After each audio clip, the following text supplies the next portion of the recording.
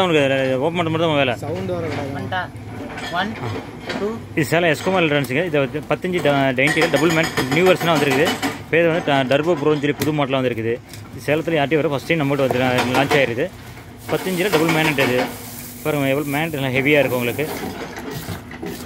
Watts வந்து five hundred watts நான் name வந்து டர்போ ப்ரோ அந்த நேமில் வந்திருக்குது. பக்கா கிளாரிட்டி பேஸ் பக்காவாக இருக்குது உங்களுக்கு. ஃபினிஷிங் எப்படி இது பாருங்கள் இது.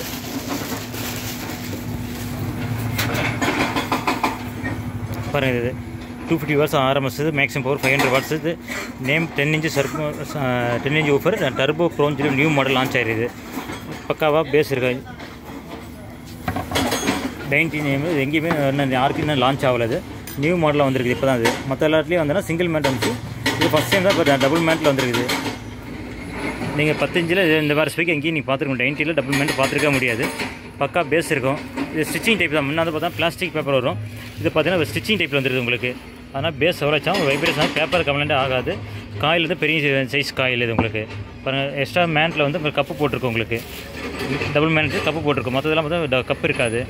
காயில் பார்த்தா பெரிய சைஸ் காயில் வரும் உங்களுக்கு. சைஸ் காயில் பார்த்தா உங்களுக்கு வந்து மூன்றரை இன்ச்சு சைஸ் காயில் பக்கம் வரும் உங்களுக்கு. இது காயில் எல்லாம் ஹெவியாக வரும் உங்களுக்கு. பேப்பர் நல்லா திக்காக இருக்கும் உங்களுக்கு. இனி எண்டோயர்லாம் பாருங்கள் அந்த எண்டோயர் வேறு இந்த டைப் எண்டோயர் வேறு. நார்மல் டைண்டியில் இந்த மாதிரி டைப் வராது.